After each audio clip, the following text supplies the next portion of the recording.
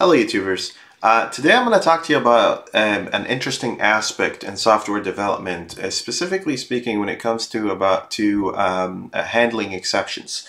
Uh, a lot of people may or may not be frustrated with the amount of noise that um, the try-catch block may cause uh, when they're trying to handle all the potential exceptions that may occur while they're trying to execute a certain operation. Um, so for instance, let's say you're trying to retrieve a student record from a database, but you also want to make sure that your input parameter is in good shape. The structure of, the, you validate the input parameter, whether you're searching by an ID or a name or whatever uh, the parameter you're searching with. You, you want to make sure you handle all your dependency exceptions uh, in terms of, you know, database connection failure, you know, some concurrency, update exceptions, and all these kind of levels of exception handling. And the more exceptions uh, that you have, the exception handling you have in your software, uh, the more defensive uh, your software becomes, the more um, um, resilient it becomes against all potential cases. So exception handling is important, but from a code readability perspective, it could be a little bit noisy, especially when you just want to see what the logic is, not necessarily all the possible edge cases. Edge cases, which are the exceptions uh, that we're uh, programming against, should be just that, edge cases that if I only want to see them, I should go to a particular place in my code uh, in a standardized way to see all the different um, situations, all the different cases that I'm trying to handle instead of it just being in, in front of me all the time. So I'm going to show you here a little bit of um, pattern that I have just recently developed uh, that uh, might help you with this problem. This is an existing project um, uh, me and my friends are working on. It's uh, it's called the Estimizer project. It's basically you know uh, it's it's working with uh, profiles and such and um, what what this function basically is, this is a profile service, which is a service class, and it does all business logic. And as you can see here, there's a remove profile by ID async, and there's retrieve profile by ID async. And you're passing in the profile ID, you're making sure that the profile already exists, and then you're returning whatever the profile is and then on the controller level you're dealing with you know profile not found exception. You translate that into 404 people who have been following up with uh, the my series and the fundamentals of building ASP.NET Core applications uh, might be more familiar with this um, with this pattern. Anyways so um, the problem here as you can see is that there's a lot of catching that's happening in here right there's also the same pattern that's happening in here. In fact, the same exceptions that we're catching in here are very similar to the same exceptions that we're catching here. And they may be different, they may be the same in some other functions. Whatever the case may be, they seem to be like this only is the logic that I care about.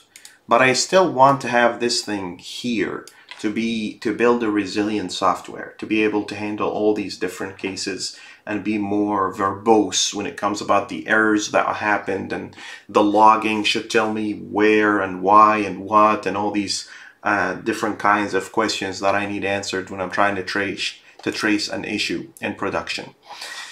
So if you look on the right side here, um, my team and I have had a hab have had a habit of breaking, you know, into partial classes the things that we can abstract away to make sure that our logic is a lot simpler uh, when when you're trying to validate. Like I don't really care about you're validating an ID, how you're validating it, it doesn't matter. I just want to know that you're validating an ID, you're verifying that the, the record actually exists in the in the database, and then you're deleting the record uh, once you know that it actually exists. So so we have this pattern of breaking things apart and all that. But the problem here is, is that, like I said, we want to get rid of all that. So what, I, what we can do, you can go to your um, exceptions uh, partial class. So in here, if you can see, there's nested, uh, Visual Studio does really this really cool thing with nested uh, files. So you are, you know that you are within the profile service, right? And you know that this is logic that belongs to the profile service, specifically targeting exceptions and validations and whatnot. You can go in here and, and build a delegate, right? This is a delegate. And this delegate basically needs to confirm to the same return type, not necessarily the input parameter, but the return type that your function is using, right? So if you go to the profile service here, the return type is value task profile, right? So I'm just gonna go back here and say value task. Let's do control period, pull in the references, and then I'm gonna say profile, control period again, pull in the models. And then this is a function returning profile function. So it's just a, a very generic description for a delegate uh, about a, a, a function that returns a value task of a profile. That's really all there it is. It's just a function that doesn't take, it doesn't matter what kind of input parameters it's taking, it just returns a value task of a profile, right? Under that, and this is where all the magic happens, I'm going to build in another function, private async value task of a profile that is called try catch. So my function here is called its private function, it's called try catch, and it takes in that returning profile function as input parameter.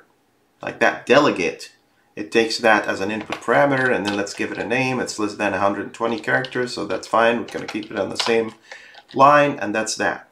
And then I'm just to list in the same exceptions that I'm trying to handle in both methods the exact same way. So if you do try and then tap twice, it'll just build the block for you. But I'm just to go into my profile service here real quick and then I'm to copy all that code.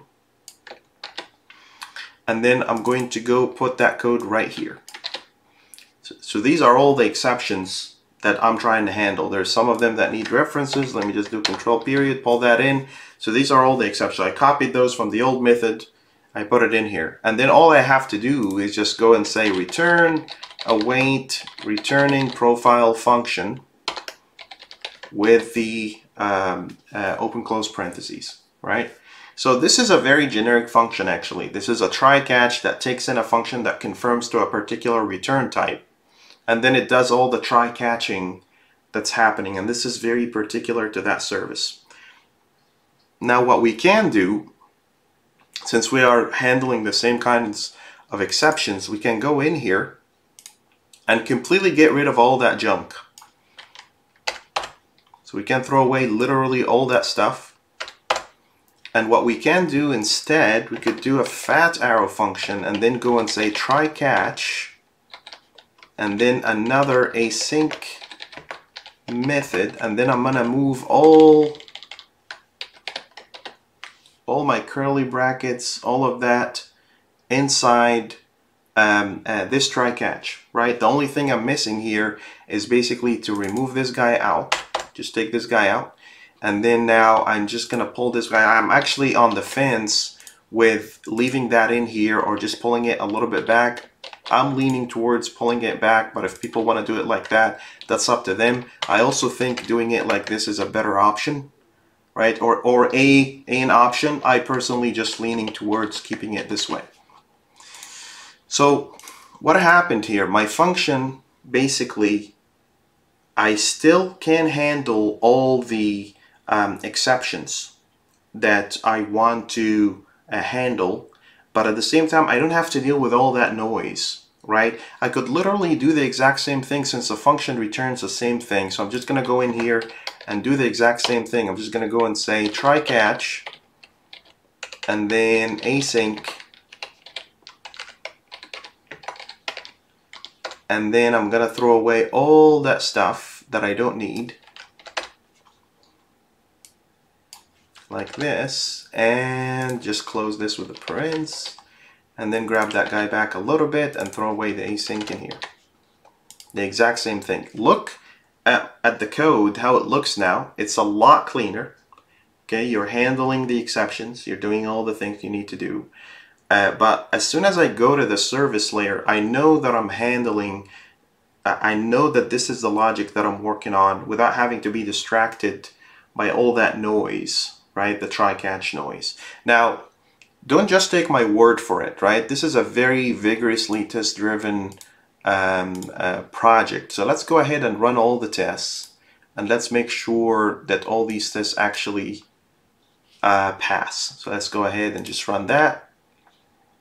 And all the tests are passing, right? So that basically uh, assures you that you could literally get rid of all that try-catch block. You could handle as many exceptions as you want without hurting the readability of your code without hurting the readability of your code. This is still a raw concept that I'm trying to run in my head.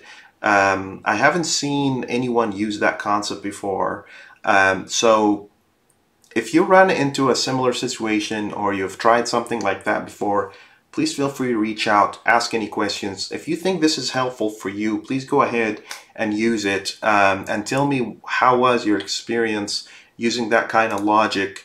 Um, it's pretty straightforward, really. You're just building a generic function, defining a delegate. Some people don't even have to define the delegate. You could use a func, right? You could use a func and you define your return type and whatever you're passing into that func is going to be the case. Sure, you could do that, or you could just use delegates. Either way, it's fine. You're still handling your exceptions, uh, the, the creation and logging of your exceptions, and your code is so much cleaner and so much better and much, much more readable than it was before. If you really want to see the difference, if I do control uh, Z in here real quick, this is the difference here for you. If you go, yeah, just like that. So look at the difference here. This, this function is literally from 26 to 34 versus a function that's over maybe 20 lines, maybe 15 lines of code. It's so much easier and so much simpler and you can just look at the function and know exactly what it's doing. Alright, so that's pretty much it. If you have any questions, comments, or concerns, feel free to drop a comment in the comment section and uh, I'd love to hear your feedback and I'll see you in another video. Thank you for watching.